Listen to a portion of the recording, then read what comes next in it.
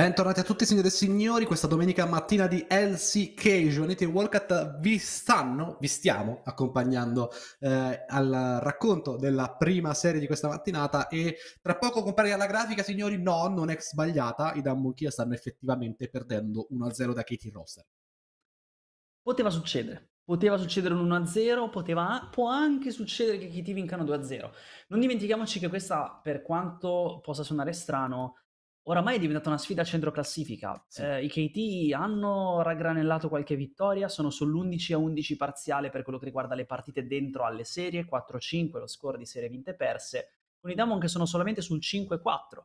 E quindi sì, scontro diretto per la quarta posizione, come dicevo prima, non dovrebbe bastare neanche il 2-0 per i KT per superare effettivamente i Damon, perché il tiebreaker favorirebbe comunque ancora i Damon, Ricordiamo che per queste SK ci sono sei posizioni in palio per i playoff, ma le prime due hanno accesso immediato alle semifinali, quindi punti in chiave Worlds, grande prestigio, lavoro un po' più semplice per l'ottenimento di quella vittoria di split. Quindi è importante che i Damon, per mantenersi in quell'ipotetica vetta, ora trovino una risposta, altrimenti quelle lunghezze su Genji e T1 si farebbero rispettivamente 3 e 4. Sì. E ricordiamo anche eh, ovviamente è solo un'ipotesi al momento, non possiamo prevedere il futuro per quanto potrebbe essere comodo in alcune situazioni, ma se i Diamond dovessero perdere anche il prossimo game sarebbe la loro prima sconfitta per 0-2 in questa LCK. Al momento hanno solo vinto con questo risultato, solo vinto per 2-0 e solo perso per 2-1. Quindi in generale, uh, se ci dovesse essere un altro game, potremmo avere anche in questo caso, uh, ci dovesse essere una vittoria di Damokia, potremmo avere comunque un uh, primum in questa, uh, questo spring split di LCK e sarebbe un modo particolare, frizzante, di iniziare un po' uh, questo secondo round robin perché appunto un, prima una novità per una squadra che al momento ha solo due risultati a disposizione su quattro possibili, a quanto pare. Sì, al momento è effettivamente un percorso molto spigoloso quello di Damon all'interno di questo split. Ci sono ovviamente tutte le incertezze di un roster che ha cambiato tre quinti di formazione. Perché è vero che hanno fatto uno stravolgimento della corsa inferiore, mh, comunque acquisendo un full package, un uh, pacchetto support carry che hanno già lavorato assieme la scorsa season con grande successo nei Nongshim, parlo di Doug McKellin, però non è facile sostituire una botlane ex campione del mondo come Ghost e Beryl, specie allo stato di forma in cui erano, stato di forma perduto nell'arco del 2021, ma soprattutto quel Khan da corsa superiore, o quanto sì. aiutava Khan il buon duo Showmaker Canyon nel assicurarsi tante risorse per sé e lasciando Khan il suo, rappresentando però sempre una spina nel fianco per gli avversari da quella corsa superiore. Uh, tra l'altro, Burdle sta sorprendendomi da questo punto di vista perché mi aspettavo un giocatore più alla Rascal, suo mentore uh-huh, suo eh, appunto titolare effettivo all'interno di quei Gen G. Invece devo dire Burdle sta maturando già una certa pazienza, una certa disciplina.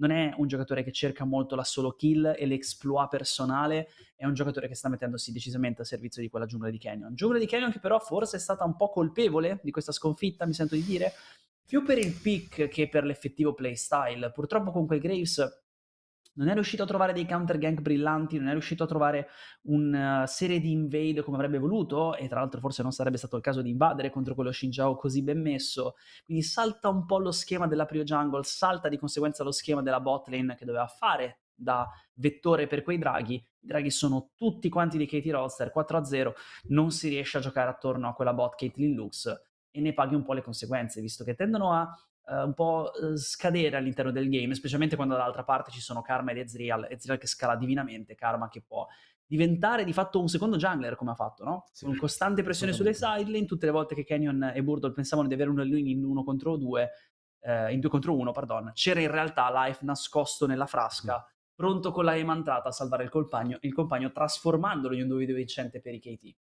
E, e, tra l'altro, cosa che abbiamo dis- non abbiamo discusso così tanto nel dettaglio. Abbiamo detto eh, durante il game, Aria non si è potuto muovere mai da quella corsia centrale, sempre incollato in quella corsia centrale, sempre fermo lì ancorato.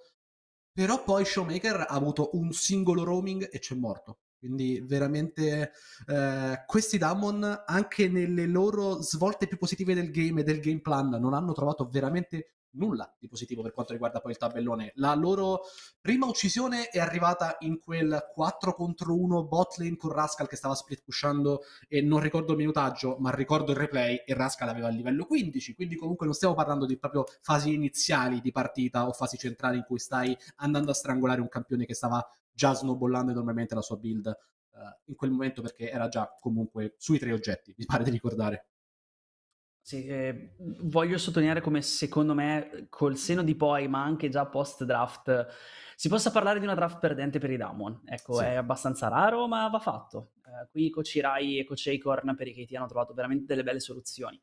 Non solo sono riusciti ad aggiudicarsi un quadrante topside molto forte a fronte di un quadrante bot che non perdeva così hard da Caitlyn e Lux, ma sono anche riusciti ad avere, nell'ambito del teamfight, una gittata maggiore ed un ottimo modo di contrapporsi a quella Caitlyn, quella Lux, quel Graves, andando ad allungare con un Jace ed un Ezreal sulle gittate di questi due campioni. Inoltre, proprio quello Shinjao, che in realtà non è, ness- non, non è un'incredibile soluzione esotica, assolutamente, è un pick super ordinario, andava a rappresentare la frontline di cui aveva bisogno il team con quella mezzaluna difensiva. Un team sì. che non era affatto tancoso, anzi, era un team molto mobile, ma sul tentativo di Olin c'era sempre una mezzaluna di Shinjao poter disinnescare. Non l'avreste avuto con Lee Sin, non l'avreste avuto con Jarvan, serviva proprio proprio Shinjao in questa formazione. Anche per avere un altro strumento di disingaggio in fase di 1-3-1, oltre alla Emantrata di Karma. Quindi p- perfetta, veramente la composizione che lavorava divinamente in teamfight, nel 5v5 sulla gittata, cercando di pocare l'avversario fuori dall'obiettivo, che lavorava molto bene in 1-3-1, che lavorava molto bene in 4-1, hanno vinto su tutta quanta la linea, secondo me, Irae ed Acorn, non succede spesso e mi sentivo di sottolinearlo, anche se non amo parlare proprio di draft diff, qui c'era ed è stata ben veicolata dal team, ecco, perché parlare di draft diff soltanto serve a poco, serve poi utilizzare i punti di forza della draft che i tuoi coach ti consegnano, e lo hanno fatto molto bene i KT. Mio fratello Life ingiustamente non votato, non ha preso neanche una votazione Vero, in quella POG e non capisco perché. Rimaniamo dal lato blu di mappa per i Damon Kia perché ovviamente eh, è sempre la patch in cui il lato blu è quello che devi andare a selezionare dalla tua, a meno che non hai dei counter pick così tanto piani. Però mi sento di unirmi con ovviamente il vantaggio del seno di poi alla tua lode della draft dei Kitty Roster, una draft ben oliata, ben funzionante e questo meta ormai in cui la frontline non è davvero una frontline, ma è semplicemente un campione che si mette davanti e non subisce danno perché ha una spell che gli permette di non subire danno. Sta caratterizzando questo inizio di Season 12. Gwen, Shinjao, molto spesso anche nella stessa comp e a quel punto ci sono delle situazioni veramente quasi grottesche nel senso più eh, letterale del termine, quasi divertenti in cui ci sono due campioni che stanno davanti, non subiscono danni, non passano screenshot attraverso quella nebbia e quella mezzaluna e vedremo perché i Damoki ha sicuramente se devono scegliere io direi di non far passare quello Shinjao nuovamente per caso dopo il POG Probabilmente ha senso, sì, eh, comunque è un campione che sta venendo anche molto bannato. Certo c'è la stretta di mano sul fatto che non sia tra i campioni più oppressivi, che possa tranquillamente filtrare, ehm, e però rischia di entrare in quello spot, perché se ricordi la fase Ekari Mudiri 2021, Ekari Mudiri venivano anche molto bannati. Sì. Sì. Non vedo perché non bannare Shinjao o Lee Sin, visto che sono un po' gli Ekari Meudire di questo Spring 2022. Un po' più di ban su Shinjao, sì, li gradirei, anche e soprattutto perché Burdol è un ottimo utente di quella Gwen e andresti ad avere l'unica di due mezzalune difensive e di due nebbie sacre presenti nel gioco. Quindi non è un vantaggio da poco. Comunque, per questo Game 2 i Damo hanno scelto il lato blu, stanno prendendo delle precauzioni doverose secondo me dal lato blu, concedere quella Caitlyn in R1 e R2 assieme a Lux, diventa una Caitlyn che non vogliono più consolidare per Deogdam, un Ari che sta iniziando evidentemente a guadagnare rispetto, tanto che la vediamo annoverata come primo ban, 0 TF, nulla di nuovo per i KT, sorprende questo ban su Rise, è vero che è in grande ascesa, però mi sembra sempre uno di quei campioni, anche lì, eh, soggetto alla stretta di mano, lo puoi prendere tranquillamente, tanto so quel che fa e non mi dà troppo fastidio. Però sta anche evolvendosi il modo di giocare Rise. Molto più spesso, sì. ormai praticamente sempre in formato tank, molto più spesso altruista, che cerca di portare dei reami sulle sideline, che cerca di fare playmaking piuttosto che accumulare quante più risorse possibili per se stesso. E d'altronde, come diceva lo stesso Showmaker in intervista, serve a poco avere 5 oggetti su Rise se non arrivi mai a poter essere in range esatto. per farli pesare. A Felios sarà quindi l'ultimo ban, Eccolo. il B1 per i Dammon cambia totalmente attitudine se sarà quella Jinx ed è così da un carry prioritario che spinge la wave e che aggredisce ad uno estremamente difensivo che vuole iperscalare. E c'è un altro pick che è rimasto inosservato all'interno di questa banfase a differenza della prima partita ed è la Calista di Gaming. Io non mi aspetto di vedere Calista qua perché non è esattamente il pick comodo, però c'è nuovamente, e tra l'altro anzi non però, c'è nuovamente Shinjao da andare a selezionare per casa perché a questo punto devi nuovamente prendere il lanciare De Maciano. Eh, non ho un enorme ricordo di matchup Calista contro Jinx, perché spesso e volentieri non sono forti contemporaneamente nel meta e quindi non vengono giocate così tanto insieme. Potrebbe tirarci questa palla curva aiming. E a questo punto anche una palla curva ben attesa ai Dammon, visto che hanno cambiato così tanto la priorità in draft.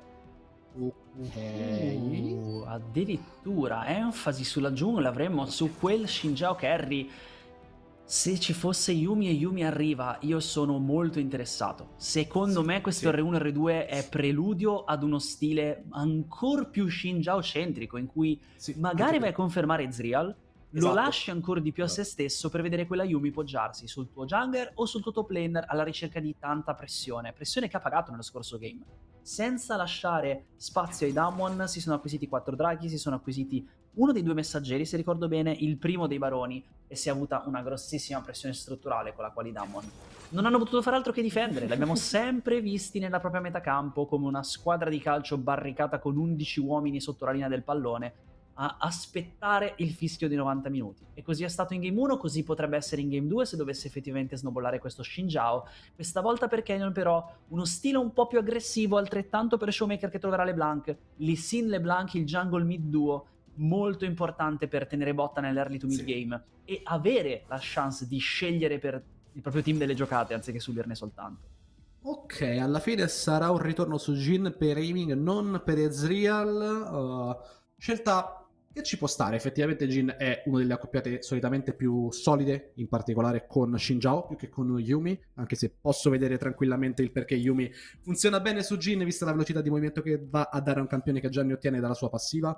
Uh, mi piace molto, in generale, come, come, scelta. Non sono un fan di Jin in senso stretto, ma se devi metterlo, vai a metterlo insieme a Shinjao, vai a metterlo come ponte per il mid game di quella Yumi e cerca anche di proteggerlo particolarmente da quel duo Lisine e LeBlanc perché prima abbiamo detto è mancata l'aggressività di Canyon stavolta non può mancare per definizione eh, la presenza eh, di quel jungler e in particolare di quel mid laner che può accompagnarlo per tutta la landa degli evocatori. Sappiamo eh, LeBlanc amare Zoe e LeBlanc in LCK mi piace chiamarla una Zoe diversa perché fa bene o male le stesse cose salta in, cerca controllo di visione di un obiettivo e se ci un avversario lo va anche a bastare perché no Assolutamente, io sono più dell'idea che forse avrebbero dovuto confermare a loro volta quel Jace, visto il grande successo che aveva raccolto, però sì, quando strano. iniziano ad esserci campioni così tremendamente mobili tra le fila dei Damwon, forse se è alla ricerca di un top laner un pochino più coriaceo, magari aspettare banalmente l'R5 e quindi non avere un uh, pick uh, diciamo in senso assoluto buono, ma avere un R5 molto buono nello specifico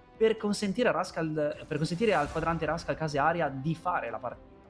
Uh, per ora Yumi Jin mi sembrano più uh, un pochino la versione sciacquata di Ezreal Yumi personalmente, specialmente perché mi aspettavo di vedere Ezreal lasciato molto a se stesso. Jin non è sì. così contento di stare da solo, è un campione Vero. con scarsa mobilità e quindi ok, quanto mi piace questa Zoe dovesse arrivare davvero, anche Vex, ok, mm. quello che mi interessa per Kitty Roadster è un pick che abbia una buona commissione di poke e di all-in potential. Rex sì. ci si butta nell'all-in, va a mettere il fiera d'aria dopo aver premuto R e va a essere quasi un playmaker da frontline. Zoe fa playmaking con la bolla dalla distanza in modo ancora più safe, però è sempre quello che serve a KT per questa composizione, serve l'engage fondamentalmente, no? Sì. Serve qualcosa che prima in avanti assieme a Shinjao e che faccia reparto con lui. Il solo Shinjao con Yumi addosso potrebbe non essere sufficiente. Servono controlli, serve una buona mistura di danno, visto che per il momento abbiamo giungla AD, bot lane ovviamente AD, una delle due solo lane probabilmente l'avremo vista in chiave Ability Power, questa è Vex, tra l'altro Vex che non sta trovando grande successo, bisognerebbe aprire un altro paragrafo su questo campione, perché anche questo campione sembra essere appannaggio di Faker soltanto, come eh, diceva Karen in intervista riguardo alla Ari di Faker, eh, quindi chissà se Aria riuscirà a riportare alla vittoria. Sembra che stia percorrendo le orme di Faker effettivamente Aria, proponendo prima una buonissima Ari, questo game proverà invece su Vex Kellin Rakan, signature pick per lui, un eh, reparto un po' strano questo della corsa inferiore. Di solito con Jinx vorresti vedere qualcosa magari un pochino più improntato al peeling, qualcosa di un po' più coriaceo. Rakan però è un coltellino svizzero da questo punto di vista. Sì. Uh, piace ad Eogdam e alla sua Jinx avere un compagno di reparto che possa anche proiettarsi in avanti e giocare aggressivamente. Jinx è comunque un campione che può mettere la CC chain con quel fuochino fuochino. Rakan sarà il suo setup con il knock-up. Molto interessante anche perché contro l'immobile Jin con un support che eh, non eh, occupa spazio in corsia, dovesse davvero connettere Rakan con un knock-up, starebbe connettendo su due campioni nemici propiziando un ottimo scambio per quella Jinx e quindi con posizione alla mano decisamente più offensiva la trazione dei Damon in questo game 1 c'è il counter pick di Tryndamere in R5 su quel Graves signori è guerra aperta io non posso che pensare che nuovamente i KT abbiano qualcosina in più su questa draft sì. che stia ai Damon gappare i giocatori avversari non tanto sul piano della draft, ormai quel treno è passato, ma sul gioco giocato, sull'esperienza, sul macro game, come sanno fare solo i Damon. E mi ricollego nuovamente, come ho iniziato a fare spesso ultimamente, alle parole di Chronicler, uno dei caster e analyst dell'LCK inglese. Le draft in LCK vanno sempre prese con le pinze perché bene o male le squadre sanno quello che vogliono e che i roster lo sanno in maniera più semplice quello che vogliono, infightare, ordinati, c'è il fuoco di copertura da parte di Jin, scusate, eh, per gli inserimenti di questo trittico in corsia superiore e giungla e corsia centrale. Ma gli dà Kia hanno le meccaniche per decappare il loro game plan, sono una formazione che può far show off del loro talento e lo dovremmo vedere con quella LeBlanc, con quel Lisin, con un Graves da spettralità e teletrasporto. Questo non me l'aspettavo e siamo pronti signori con il secondo game, quindi come sempre bet hashtag e fateci sapere per chi fate il tifo. Ok, ok, ok, allora questi sono matchup che non vediamo spessissimo. LeBlanc in 2Vex non ricordo l'ultima volta che l'ho vista, intanto il dato dello 0-1 per aria. Ripeto, che io ricordi soltanto sì. Faker a raccogliere una vittoria su questo campione per ora eh, è indispensabile che questa corsia centrale per i Damwon vada almeno in modo neutrale, perché quel quadrante topside rischia di schiacciare molto velocemente i Damwon se Rascal ne esce vincente, se Aria ne esce vincente, e se di conseguenza Kaz ne può uscire come un carry su cui Yumi andrà a appoggiarsi. Allo stesso modo, però, quella bottling non può andare disastrosamente, perché Deogda e Kellin è vero che stanno eh, portando un carry da hyperscaling in quella Jinx, come dicevo poco fa, è anche una botlane che può prendere la prio, che ripulisce l'ondata piuttosto velocemente e che comunque la CC chain da mettere su quel Jin ce l'ha. E quindi dovesse arrivare un knock-up di Kellin si può aprire tranquillamente a un potenziale di duo kill pressure.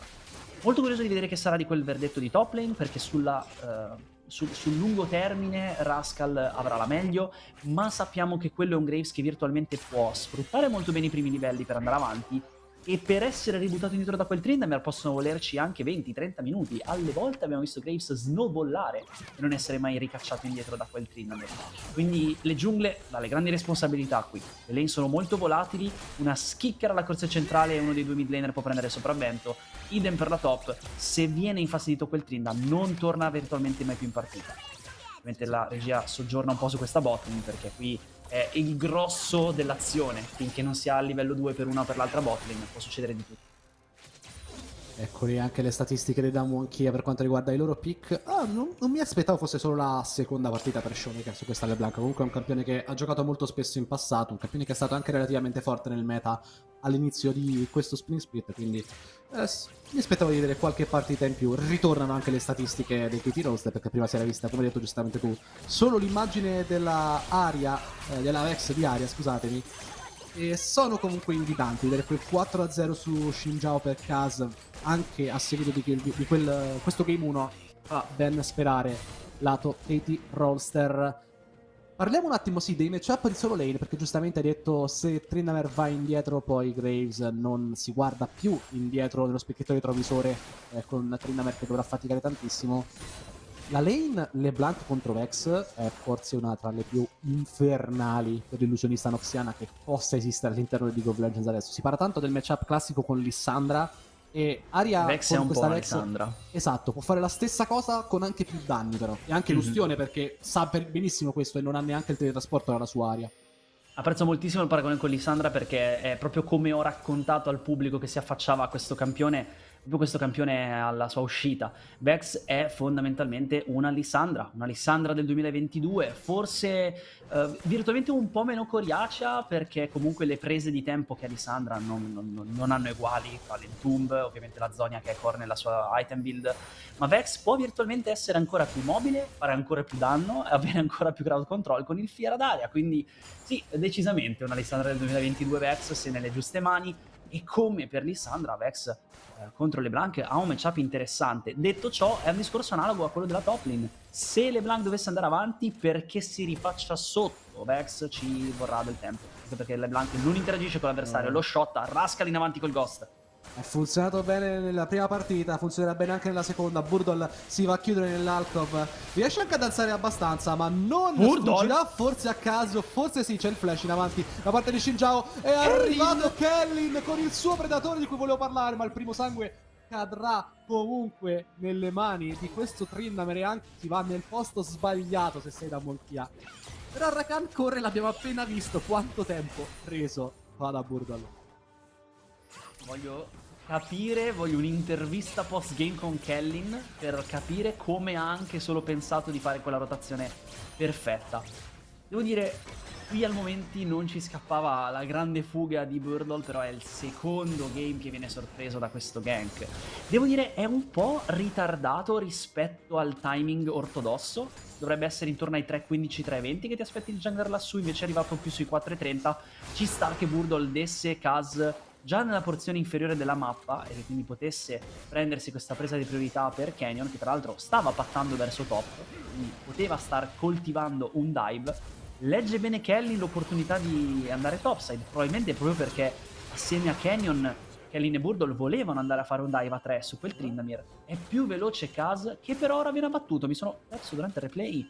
C'è stata una kill trovata da Canyon ai danni di Kaz e che non ha assist non ha assist, è una solo kill per Canyon, non abbiamo visto il picture in picture, quindi dovremmo rivedere un replay perché adesso Canyon su questo Resir può farsi nuovamente pericolosissimo. Rascal lo sa bene, non c'è il livello 6 per Trindamer, c'è l'onda sonica, arriverà anche il colpo risonante. E ciao ciao Rascal, riesce a trottolare via, però Canyon deve flashare fuori dal range di torre. Non credo si salverà Rascal, c'è la cura. Quanto sustain! Quanto, quanto si sta salvando, quanto sustain. Bello l'agro di torre da parte di Burger che lo tiene su se stesso invece di cederlo all'Isin che si stava tendenzialmente suicidando, ma è tutto alla fine a segno per i Damonchia nonostante la sofferenza. È il solito, il solito salvagente umano Canyon. Tira su le sorti di questa top lane da solo, va a dare grande vantaggio a Burdol che aveva accumulato ondata. Queste sono una wave e mezzo, due perse da Rascal e si è mosso molto bene sotto torre, ma contro le Sin c'è poco che si possa fare. Estremamente mobile sotto alle torri, in quelle posizioni molto clutch. Canyon intende insistere davvero? Effettivamente prima del 6 di Rascal forse c'era un altro angolo, ma no. Questa è la wave buona per il 6 di Rascal, lo sanno benissimo Canyon e Burdle. E qui rivediamola, eh, solo kill effettivamente, questo è veramente un Canyon special. L'intervento sui Lamabecchi vince la Smite Fight, palmo stordente, l'onda va sia sul Lamabecco che su Casi in parte. A quel punto 1Q2, ultimo letale pugno.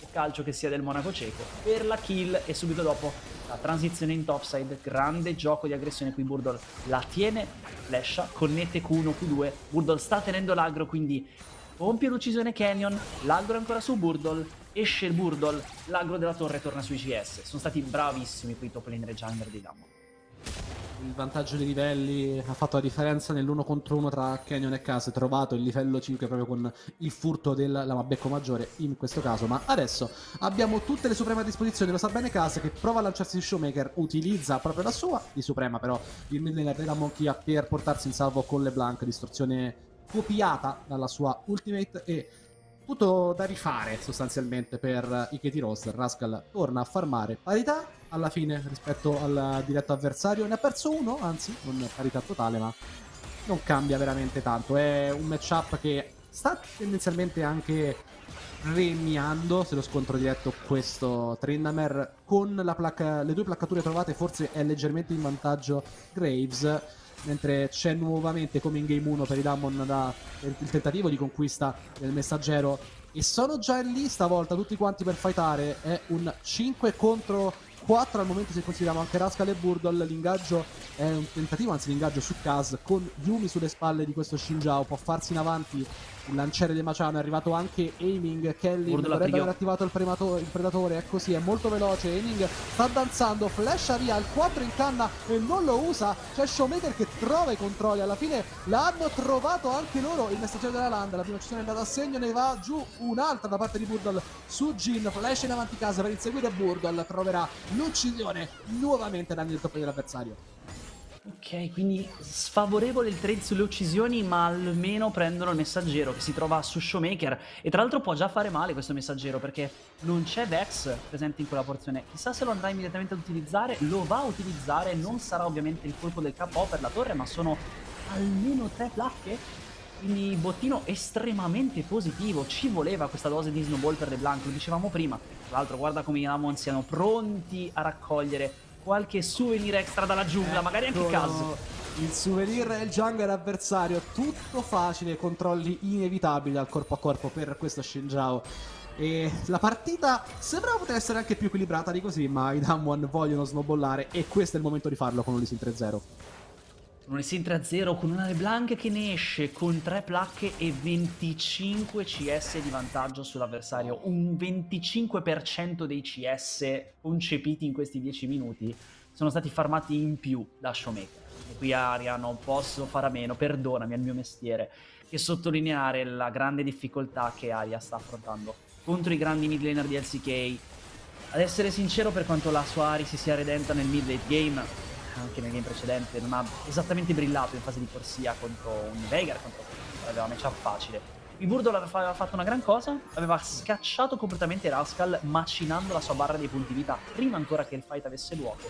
Poi però i KT con la ritrovata superiorità numerica vanno a far molto male. Ah. Qui Rascal con la solo kill, il trademark del top laner ex Gen G e poco da fare per Burdol, non puoi rispondere alla furia immortale. La regia prova ad ingannarci, ma va fuori range quella, eh, quel mega razzo della morte. Showmaker si lancia dentro proprio aria, proprio su aria. Doveva essere il matchup infernale questo per LeBlanc. Ricordo di averlo detto, di aver pronunciato queste stesse parole. Ricordo ma... di aver dato ragione. 110 a 83, un assist contro due non sono quelli che fanno il conto. Le placcature anche favorite dal fatto che c'era un fight, nel frattempo Showmaker ha potuto raccogliere il messaggero della Landa con due placcature da solo e più una conquistata grazie agli auto attack. Vanno a dare tanto a questa LeBlanc. Ora c'è un tentativo anche di dive. C'è la toccata e fuga da parte di Kellin che non lascia spazio al counterplay per gli avversari. Un'altra kill per Canyon. Canyon Sin è ora che inizia la serie è ora che inizia la serie quando Canyon è unleashed su questo campione e trova questa pioggia di gank di successo. I Damwon si mettono comodi e guardano il proprio star player fare tutto quanto il lavoro sporco. Sono 1200 le unità di gol di vantaggio, non sono molte, ma era indispensabile che arrivassero nelle mani dei top lane, de, della top side. Ecco, che, che, arrivino poi nelle mani di Canyon va sempre bene, perché lo spike di Visin è uno spike del quale può beneficiare tutto quanto il team, ma era indispensabile che arrivasse da qualcuno, eh, su qualcuno tra eh, Showmaker, Canyon o eh, Burdol, proprio per come questa top lane è estremamente volatile, per come è indispensabile che Lee continui a contribuire per le solo lane. Pascal qui trova la solo kill, siamo già purtroppo per Burdol in zona Tryndamere, quello Lin non lascia scampo, ha grande facilità di manovra Tryndamere una volta che ha la Suprema alla mano, non è ancora un Burdol che sostena tantissimo. Ecco, forse un nuovo spike che non ho mancato di sottolineare è quando eh, Graves va a chiudere BP, eh, lì trova di nuovo una possibilità di tradare a lungo con Tryndamere, ma deve comunque abbracciare la torre molto in fretta, deve avere una wave sulla quale andare a recuperare punti vita. Lì è effettivamente un Graves che può continuare ostinatamente a tradare Tryndamere senza necessariamente venire all-innato. Ellin da solo, case e life iniziano a fare reparto. Rischia lui l'all-in anche perché c'è l'epilogo ovviamente disposizione per Yumi, non lo utilizza in questo caso, non avrebbe trovato l'immobilizzamento. Abbiamo visto il conto di gold 1400, i gold di vantaggio per Showmaker è più di un capitolo perduto di differenza ed è proprio il capitolo perduto l'unico oggetto che Aria al momento ha nel suo inventario, è una veramente una disgrazia quello che è successo in questo early game per questa Vex che adesso non può neanche impedire a Showmaker di saltargli addosso perché è troppo facile questa LeBlanc provare a snowballare Rascal Non prova nuovamente il dive, c'è nuovamente la Full Suprema. Burdle non ha neanche il flash. Questa è un'altra uccisione marchiata dal top laner ex Genji. 2 a 0 nel conto delle solo kill. Quello spaccascafo non ti servirà per sottoturre questo Trindamer. Così preciso e puntuale cosa ingaggi.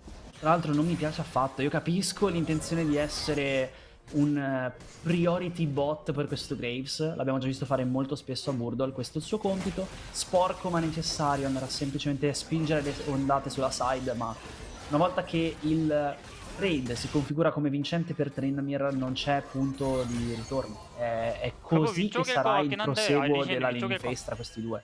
Quindi più che sognare la possibilità di giocare spaccascafo e giocare da lato debole perpetuo, avrei voluto Burdle provare ad andare su quella build di cui vi parlavo prima, con l'arco scudo, con la BT, per estendere i trade, per essere il più durevole possibile in questo tipo di scambi, altrimenti Rascal continua a poterlo linnare, continua a poterlo linnare su un Graves che non recupera punti vita e che durante la finestra di tempo della Suprema viene facilmente abbattuto dai colpi critici di Trindamer.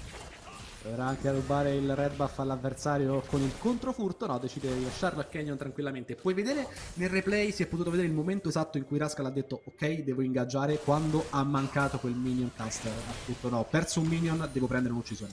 Per, per tradare alla pari in questa situazione. Aiming prova ad andare anche piuttosto in profondità. Potrebbe esserci una race per le strutture, ma Brutte notizie che voi avete Jin e non Jinx, è una X che fa tutta la differenza del mondo. Prima, primo mattone che viene conquistato effettivamente dato da Monchia, c'è l'ingaggio anche Importante. da parte di Showmaker su Aria, conquistata la torre per tradare. Un messaggero sarà inoltre conquistato da Canyon, stavolta senza combattimento, senza spargimento di sangue e totalmente in solitaria. Insomma, il vantaggio sulle strutture potrebbe diventare ancora più marcato per il da Monchia.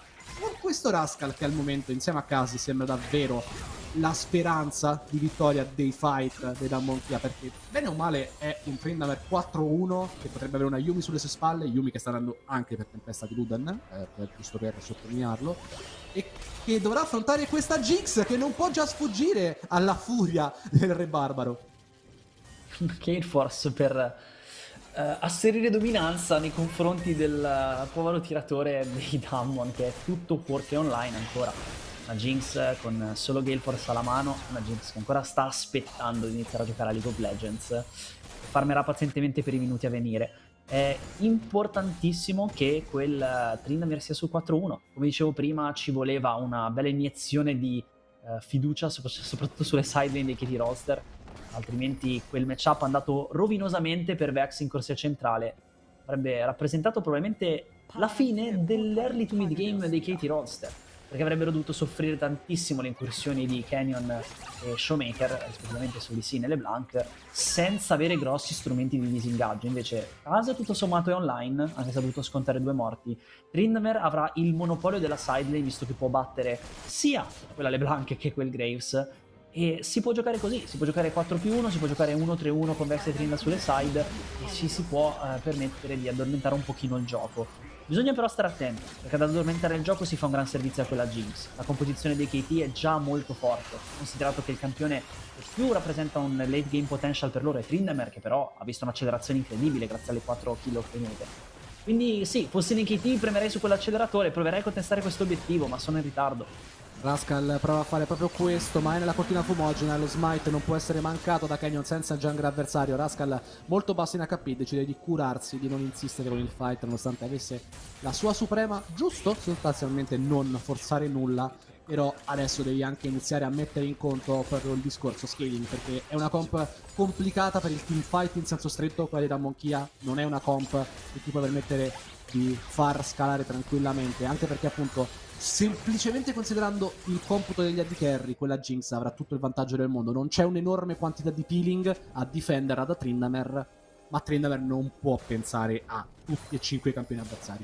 Già, no, comunque mi sento di dire che ce n'è a sufficienza. LeBlanc eh, può mettere un laccio e può fare quello che sta facendo Tryndamere sulla backline nemica, risolvendo però il tutto, se vogliamo, anche più velocemente. Questo suo burst in rapida successione, mentre Trinda deve arrivare e tirare destri.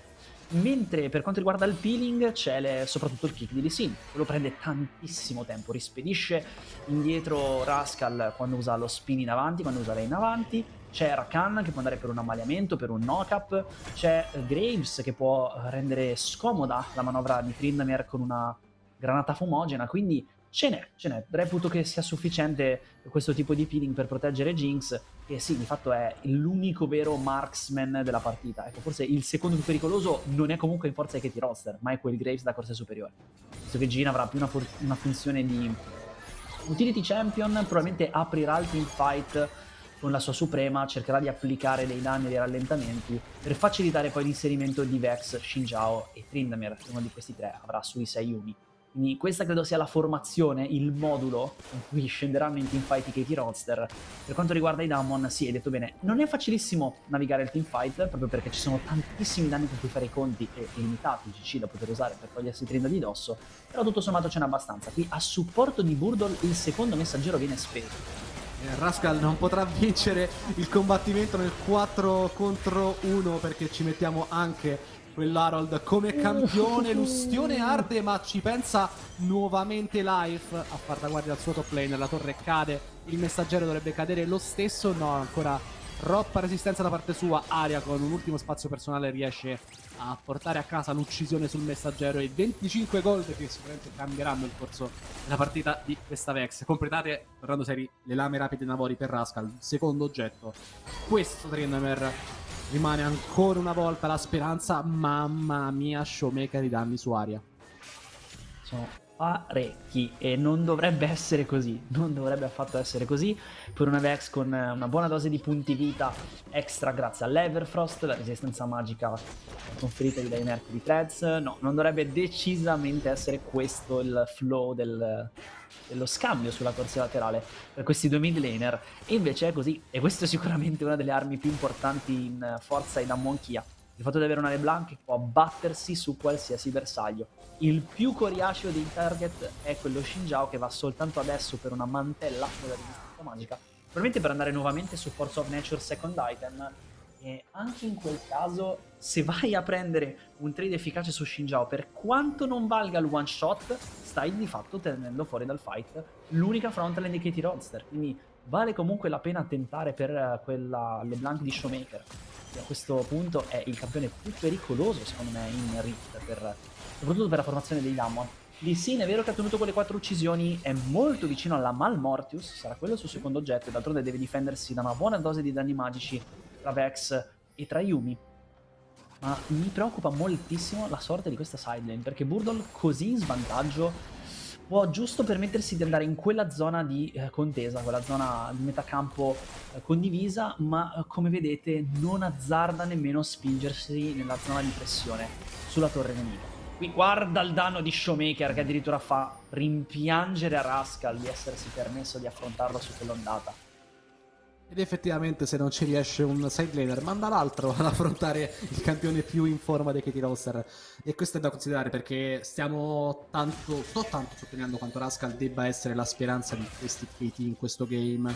Non c'è al momento nessuno che può eh, matchare quello che può fare quel Trinnamer in particolare. Showmaker, se va a neutralizzare la presenza di questo Trinnamer, va a strangolare tutti i Katie Roster.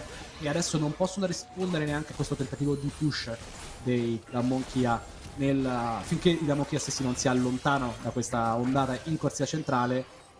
Bisogna vedere anche Yumi, perché non bisogna dimenticare il fattore Yumi, specialmente perché siamo con il drago in vita e sarebbe il drago che porta i Damon a point, quindi PT vogliono combattere in scenario di campo aperto. Rascal è pronto lì e non si aspetta neanche prima di uscire dal cespuglio per spaventare Geometry con il suo urlo, subisce danni comunque del sigillo della malvagità, lo porta in una zona più difensiva a curarsi su quel Gromp, ad avere sustain grazie al rubavita, al suo kit, a caricare quella barra della furia che è molto vicina al 100% e tanti critici dovrebbe arrivare da Trina per Showmaker ancora una volta dentro e fuori per cercare il poke. Lo oh, trova anche Swailing con la catena eterea che ha sempre un hitbox molto particolare. Addirittura il suo megalazzo della morte da parte di Deoctam per aumentare i danni su aiming. Utilizzata l'onda sonica ma va a colpire Life. Occhio Kaz, occhio al fuoco di copertura, occhio a Burgle però sul flank che va a trovare tutti i danni su Jin. Prova l'uccisione, uh. finalmente Vex troverà finalmente il drago. Il team che rossa nuovamente la fucilura d'ombra e Burgle che cercava il flank è flancato e è caduto ed è abbattuto per mano dei Katie Roster. Gravissimo che Burdle non trovi la kill lì. Hai fatto bene a sottolineare il flank di Burdle su Jin. Jin che si è scrollato la polvere dalla spalla. Non, null'altro ha potuto fare uh, Graves ai danni di quel Jin. Giusto giusto gli ha sporcato l'abito. Non ha fatto nulla. Ha fatto un'intera rotazione. Doppia istanza di Q perché Jin era a muro. Auto e auto suprema e non ho visto Jin morire. È gravissimo questo. Graves in un qualsiasi stato di Uh, partita neutra, almeno neutra avrebbe fatto quell'uccisione tutta la vita. Burdopi individua molto bene, guarda il taglio, però non prende danni, non prende danni. Poi arriva al pelo su quella danni collaterali la E di Yum, ma sinceramente non credo sarebbe bastata portarlo giù considerato quanto danno è stato fatto.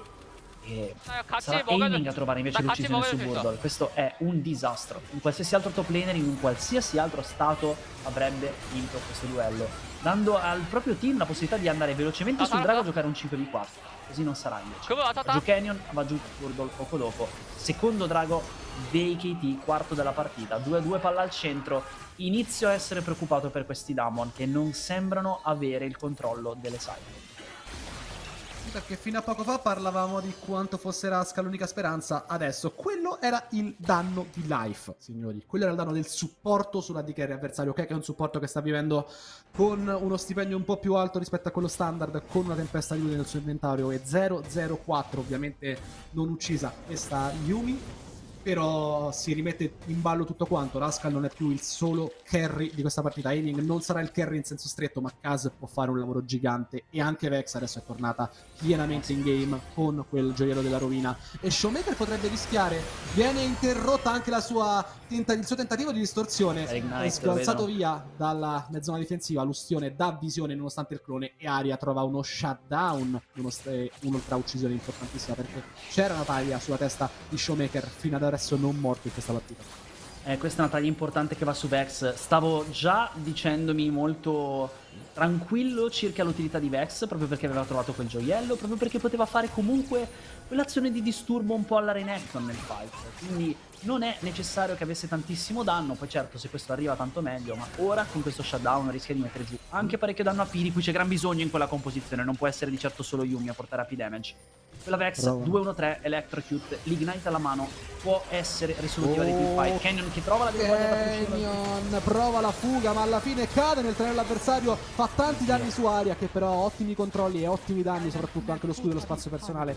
Alla fine dovrebbero provare col barone, no, decido di abbandonare comunque la contesa. Canyon è caduto, il jungler non c'è, ma stavano tornando tutti quanti i giocatori dei Dambo Anchia e Deltam si è già preso una struttura in corsia centrale. Non vuoi perdere ulteriormente il controllo di questa mappa? Fishmaker sì, eh, va un po' in tunnel vision su aria, non è un tempismo molto felice il suo. Non so se sia stato più sfortunato Showmaker o Sibillino il buon Kaz che ha letto il futuro e si è fatto trovare nel posto giusto al momento giusto a condannare Showmaker con la sua prima morte della partita.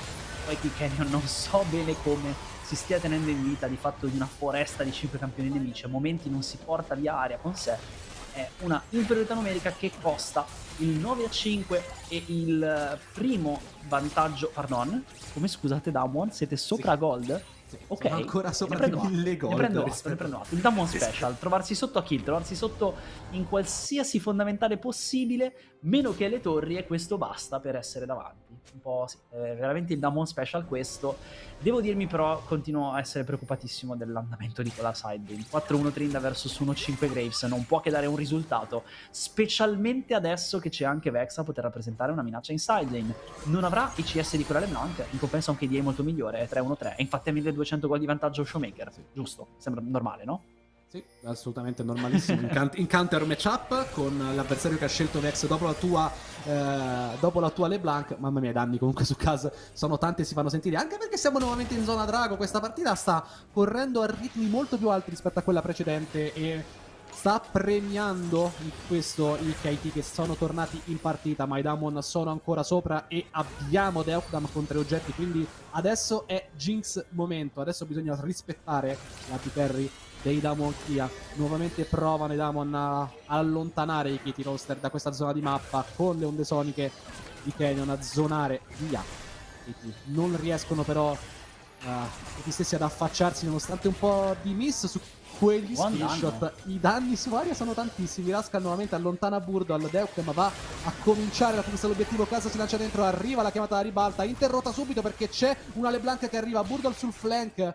Non ha tanti danni quel Graves, sta anche optando per una build ibrida da tank, ma comunque è un deterrente per la suprema di Chin ed è un cooldown molto importante che se ne va. Aria sotto visione, Showmaker si lancia, spazio personale flash utilizzati adesso da quella Vex e quello è uno strumento importante il pronta fight e la fruma Canyon riesce anche lo steal l'epilogo non trova nessuno. Il fight è disastroso per i KT che non possono rispondere adesso. ecco la prima uccisione per Deoctam va a reset la sua passiva quasi immobilizzato dalla cateneteria. Doppia uccisione per Deoctam una la prende anche Burdo per tornare in game. Aria prova ad allontanarsi ma Kelly in danza sugli avversari sugli alleati.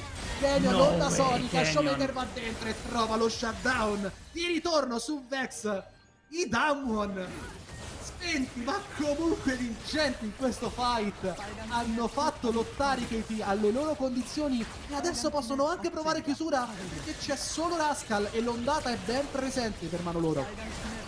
Oh, voglio, voglio, una cornice sul comodino che faccia rivedere questa play di Canyon 24-7 non ho capito non ho capito. Mi fate rivedere lo 0-25 e ancora non avrò capito come diamine Canyon abbia risolto questo game da solo con una delle fughe più spettacolari che io abbia mai visto. Shoutout a Kelvin che setappa perfettamente quello steal per Canyon andando in charm più knock up su due, regalando il teamfight ai Damon, ma non ho capito dove Canyon abbia trovato scudi e punti vita per scappare dalle grinfie di Aria e Kaz, pascolandoli per il Rift, portandoli a subire questa sconfitta su Game 2 da solo. Non accetterò verdetto differente dal Canyon PG.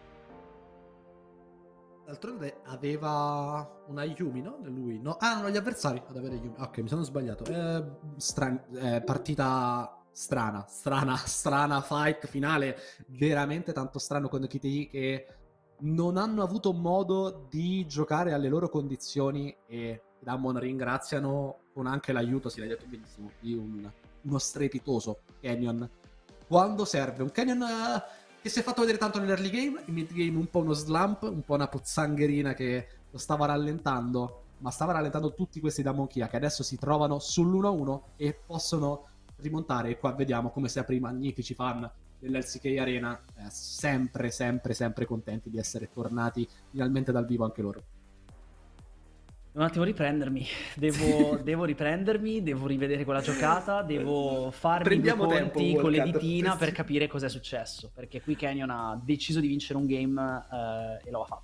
Questa è la spiegazione più logica. Questo è un Messi che prende palla sulla linea di centrocampo, scarta sette giocatori e appoggia la palla in rete. Questo è quello che è appena successo.